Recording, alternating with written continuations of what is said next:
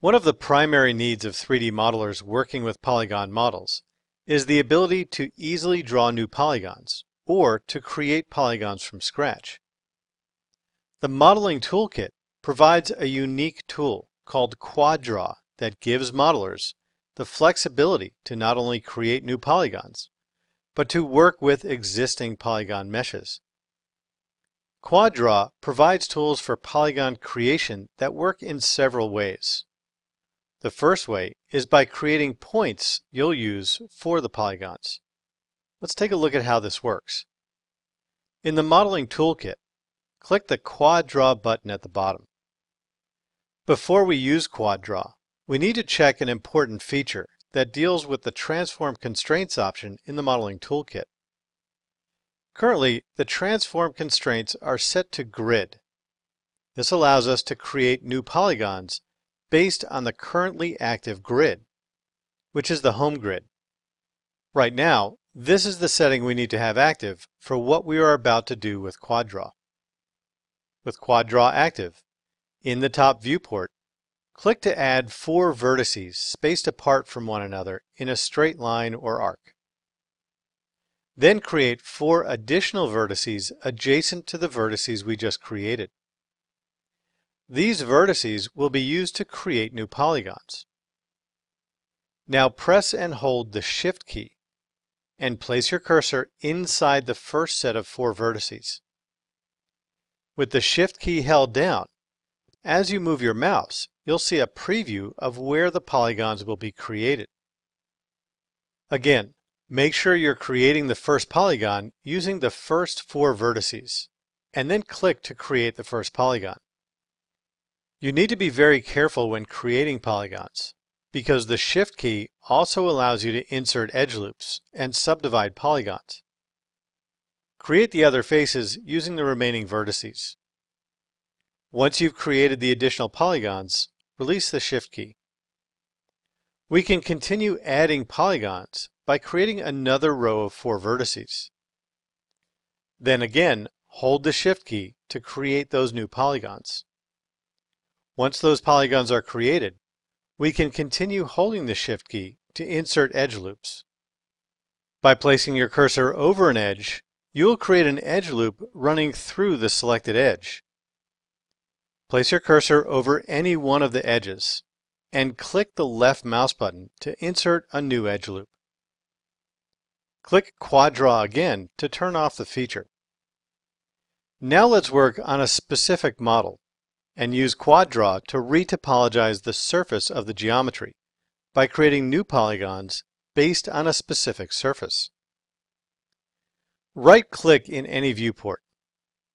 From the marking menu, choose Deselect All, which will deselect any model in the scene. Click QuadDraw again to turn on the QuadDraw feature. This time, click the Transform Constraints dropdown and choose Other Surface, Body. This will allow us to draw on the body itself. In the Camera 1 viewport, use the face to create four vertices that follow the contours of the cheekbones.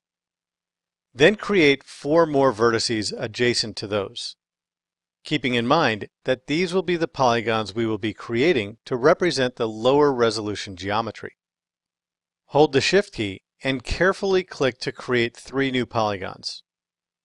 Being careful not to double click or click on an edge accidentally. This creates polygons that conform to the surface of the body object. Another method of creating polygons is to create polygon strips by holding both the Control and Shift keys down together. With the transform constraints still set to the body object, we can create a polygon strip that will conform to the body object.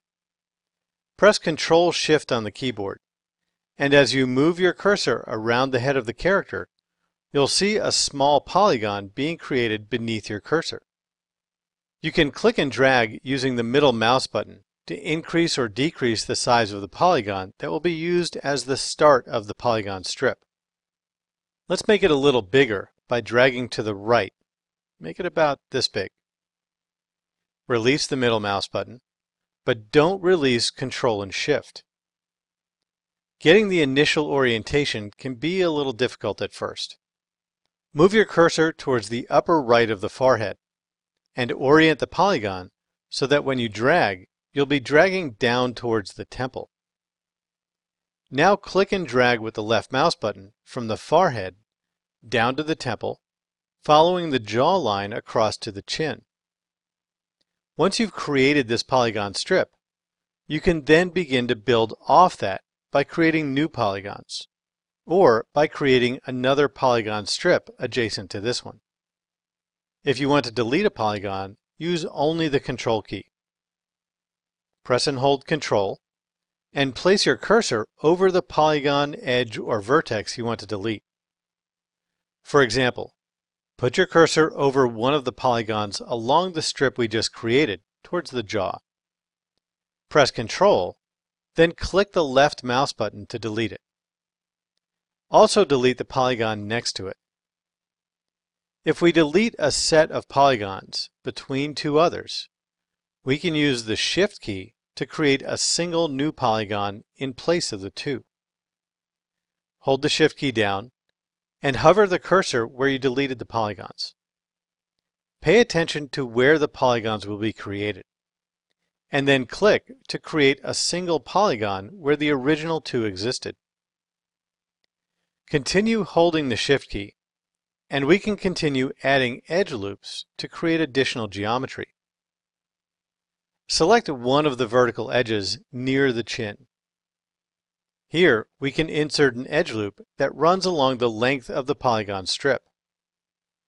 If we continue adding edge loops, the polygons will conform to the geometry of the body, because we have that currently set as our transform constraint. QuadDraw can quickly become an extremely important tool when you need to modify existing geometry or rebuild a high-resolution geometric object as low-resolution geometry.